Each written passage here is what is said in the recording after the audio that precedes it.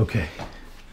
Before we start, why am I out of breath? I'm 24. Before we start this video, I wanna say that I'm not proud of my GPA by any means, but the reason why I got like a 2.7 something, the reason why I got a 2.7 something, I think is so is a 7.6 or did I get a 2.8?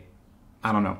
We'll find out in a few minutes. But the reason why my GPA was under 3.0 is because I fell behind and then I had to play catch up and I wanted to graduate on time because one thing you'll learn is that when you have internship experience, companies care less about your GPA because your internships show that you can code and you built actual like applications that apply to real life and that outweighs GPA. And I also want to say that I would much rather have a 2.7 something in computer science and a 4.0 in business. Oh, and um, Jarvis made a video like this about a year ago. And since YouTube still thinks me and Jarvis have related channels,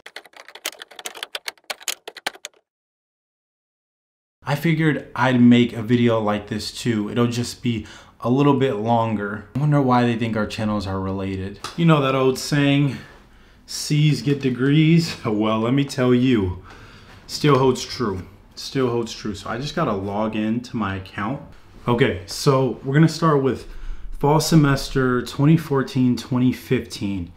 I went to a liberal arts school, so bear with me. Took public speaking, got an A minus, nothing to talk about there. I took computer programming in Java. That was a cool course. Funniest professor in the whole school taught this class. And you know the funny thing about programming is when you first start, everything is just makes no sense. And the hardest question I ever got on a test for this course was to write a hello world a thousand times.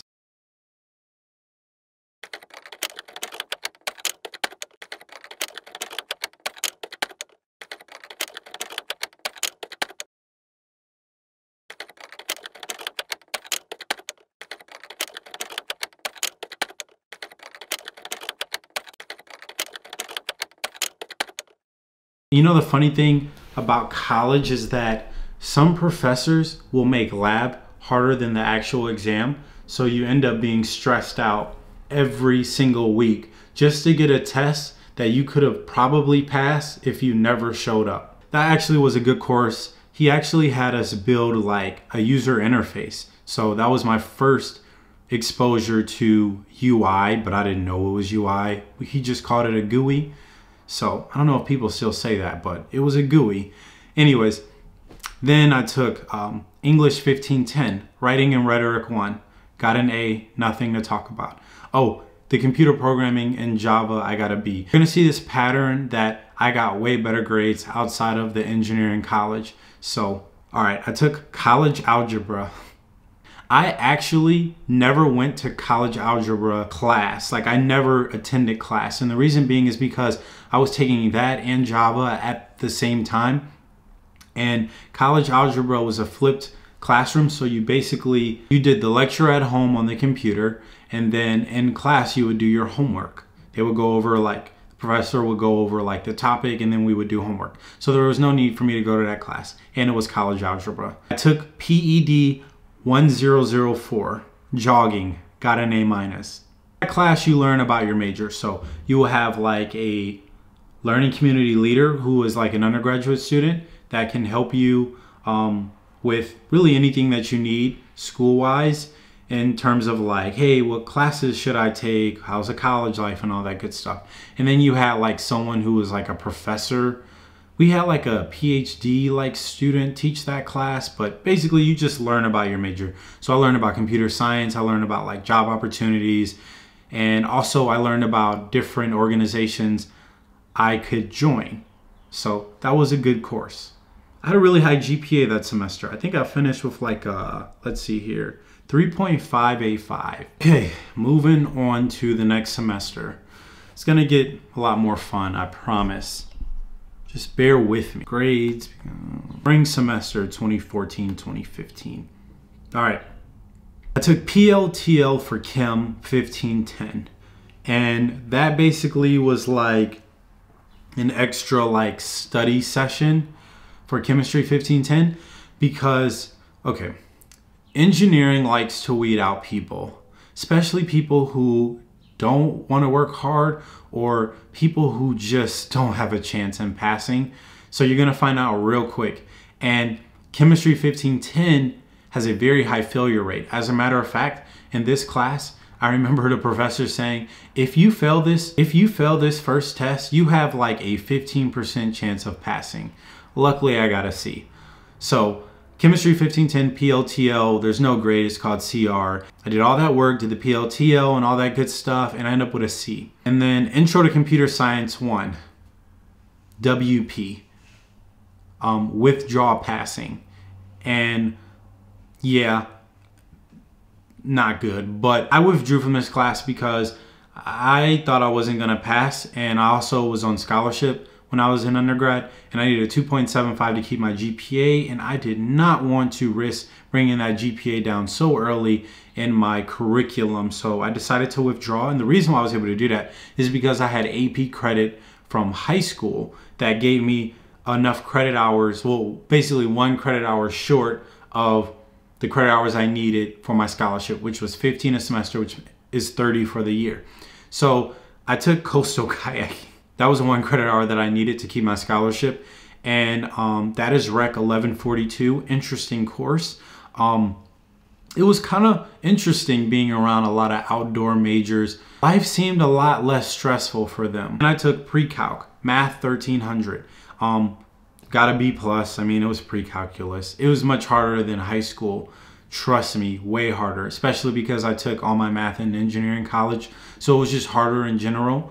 Um, and then I took, check this out, EDEC 1600, Intro to Child, I think it's intro, it's called Intro to Child Development. I got an A minus in that. Everything was open book. And then, yeah, that's pretty much um, spring semester 2014, 2015. And I finished with a uh, 3.027. This is the other thing that sucks about college if you get a bad grade in a class that has a lot of credit hours, it's going to really mess up your GPA. Even if that course means absolutely nothing compared to the other courses, you're going to see a situation like that um, soon in a few minutes where I got like a C minus in a class that no employer cares about, but I got good grades in all the classes that get you the high paying jobs. So just to give you an example, you're probably wondering like, how is my GPA only at 3.027 when I got a C, an A minus, and a B plus, and an A? Now, I just talked about how the credit hours play a huge role in your GPA. So that C I got, Fundamentals of Chemistry 1, something that I use every day as a software developer. I got a C and it was four credit hours. So that destroyed my GPA because everything else was either three credit hours. There was another four credit hours, but C and a B plus ends up becoming like a B, which is a 3.0 or maybe even a C plus when you combine the two. I don't know off the top of my head, but I got an A in coastal kayaking was only one credit hour. So thanks coastal kayaking. All right, moving on to sophomore year, right? One year underneath my belt I'm good, right? I feel confident. I'm going to get really good grades this semester. Actually, this semester wasn't that bad. Okay, so I took Art 1100, remember, a liberal arts school. Seeing and knowing visual art, three credit hours. I got a B plus. Um, that class was actually harder um, than I thought it would be, especially if you only go to class 50% of the time. I got a B in Intro to Computer Science 1, so that class that I withdrew the previous semester, I took again with a different professor who was like my favorite, one of my favorite professors ever, and I ended up getting a B. I'm actually glad I retook that course because let me tell you, the next computer science course, I got an even better grade in. For some reason, Intro to Computer Science is so difficult, and I don't know why, but it actually ended up being like not even my highest computer science course grade. In harder courses, I got better grades. Um, then I took Math 2301, which was calculus, also with a failure rate of like 54%. And I got a B minus. Um, shout out to Blake, he the big homie. And I took Foundations of Plant Bio. So I took Plant Bio 1140, um, and I got a B. I think Plant Bio was weird. You like could take the second one first, but the first one is harder. We'll see. Once I look at what my grades were, um, I think junior year, I'll see like what that plant bio is called. But this is plant bio 1140. And I think the other one was 1130. But that class was cool. I actually enjoy plant biology. So let's see. Um, for that semester, my GPA was a 2.978. I'm pretty sure I'm reading that right. Yes, 15 credit hours. Total points 44.67. And I didn't get one C and I had a 2.978. So my cum was a 3.217, which was still good. Let me tell you, there's a hack. This is what you do. You don't have any internship experience and you're starting college. What you do, of course, there are pros and cons to this. Okay, I can't promise it'll work for you, um, but it could. Spring semester 2015 2016. Wow. That seems so long ago. Back in my day. I took Intro to Computer Science 2 and I got a B. Okay, I lied. I thought I got a B plus in this course. But just think about it. I got a B in Intro to Computer Science 2 and I got a B in Intro to Computer Science 1, even though I took Intro to Computer Science 1 twice. I took it twice. Okay, I took, oh, this was a great course. CS 2650, Professional and Ethical, Professional and Ethical Computing. And it was two credit hours and I got an A minus. Shout out Dolan. That course was fun. A lot of debates. It got real spicy thanks to Jordan Osman. And then CS 3000, Intro to Discrete Structures. Um, that class was, oh, okay, that class was tough. Um, I wasn't doing really well in the beginning. I want to say I got like a 52% on my first test. That also was a pattern. Um, I would always like do really bad in the first test and then have to like nearly do perfect for the rest of the exams. And um, just to get a B minus or a B, that happened a lot. And I used to be like, God, why can't I just get a C on a test and then I could coast? I always would get like a D or an F. So um, I got a B minus in that course, four credit hours. So multiply 2.67, I think 2.6, no, 2.68 divided by four. Okay, I was right. All right, so a B minus is a 2.67. So you know that brought my GPA down. And then the next course, I took Calculus 2. Whew, that class was so difficult. You know how you take a new course and it's usually pretty pretty smooth the first couple weeks. You know, you can relax and you can chill and you could joke around with your friends and lecture. Not this course. You start on like chapter 6 and it was really difficult. No breaks in this course until really the end, I think, when we got to vectors. That stuff was easy, but the beginning, 98% of the course, actually was really difficult. Management 2000, Introduction to Management, um, 3.0, uh, three, three credit hours, and I got an A minus. That class was cool. I learned about management. Wait a second, that was a business class and I didn't get an A? I got a B, an A minus, two B minuses, and an A minus, and that was a 3.4, 3.041. So my GPA is continuing to fall, and now I have a 3.167. But guess what? I have a 3.167 going into junior year of college. As a matter of fact, when I'm applying to internships in the fall of junior year, I still have a 3.167. I remember a company um, turned me down. They turned down um, giving me an interview because I didn't have a 3.2, and then they hit me up um, in the spring like, hey, um, do you think you could bring it up to a 3.2 or if you have a 3.15 or higher we round it up. They didn't tell me that when my gpa was a 3.167 um because it fell fall semester of junior year. But i was like if you don't want me because i have a 3.167 and a 3.2 i really don't want to work for you. Moving on to junior year this is when it gets really spicy. So 2016 2017 i took four classes and the first class, CS 3560. This was a great course, Software Engineering Tools and Practice. This was that course with a professor who worked at Microsoft. It was really fun. I learned a ton in that course about software tools and I was able to apply for like over 100 internships during that class period. Next was CS 3610, Data Structures, four credit hours. What you guys think I got? A D, a C, C minus, a C plus? Ha! I got a B plus. Don't know how. Um, actually, I do. It's because of the curve and because I'm way better at understanding the mathematical side of computer science than programming. I just understand like data structures and time complexity more, um, which I guess kind of makes sense. I got into this major because I thought I was solid at math. I'm actually not that good. Am I good at anything? I got a B plus, and um, shout out to my advisor who taught this course. Um, it was cool. I learned a lot. I learned a lot. And then I took EE 1024. Ooh! This class made me so mad. Taught by one of my favorite professors, so I forgive him for giving me this grade. But I got a C minus in Intro to Computer Engineering. Guys, this class was four credit hours. So yeah, there goes my GPA. I got an A minus in a three credit hour class, a B plus in a four credit hour class, and then a C minus in a four credit hour class. And then I took plant bio 1150, so I lied. The first one was 1140. I got a B. That class was really hard. Another example of like failing the first test and nearly getting a perfect and every guys, I got a per I got almost a perfect. I got the highest score in our practicum, which is basically a lab test where you're looking under a microscope, you're identifying things.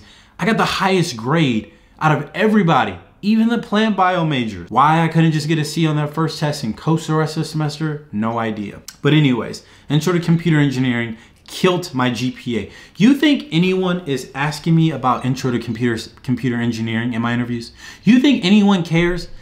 Sorry for moving this. You think anyone cares if I know how to do a Karnaugh map? You think anyone cares? No, they don't care. But I got a C minus and it was four credit hours. So it killed my GPA, 2.867. So looking back at my grades, they weren't as bad as I thought. Um, maybe I am a pretty smart whipper. 2.867, so my GPA, you know, fell again, 3.107. That's messed up. You know, that's crazy because that's the thing about college that I can't stand. GPAs don't matter because look at this. I got an A minus in software engineering tools and practice. You know what I use now? You know what I use as a full-time software developer? I use Git. You know what full-time software engineers use? They use Git. You know where I learned Git first? My internship. If you want a job at a FANG company or you know a high-paying software engineering job, you got to know data structures. And I got a B plus. This is crazy. I'm done with the rant. I'm gonna move on to um, spring semester. So I'm gonna change the term.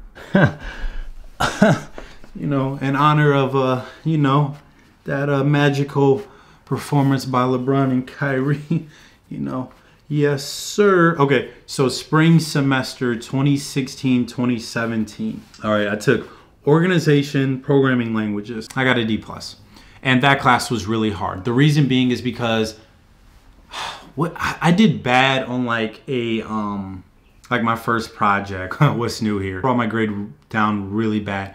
But um, this class was great. I actually built a, um, a compiler in this course and uh, I actually did well on that project. That was really cool. So we, or no, I built my own programming language. That's what I built. I took CS4000. So that was parallel in web computing. I think distributed parallel in web computing. So that was three credit hours. I got to see that class was crazy. We were all stressed out that semester. I took computer organization, that's EE 3613. I never got yelled at more in college in my life than in that course. I managed to get a B minus EE 3954, which is microprocessors and microcontrollers.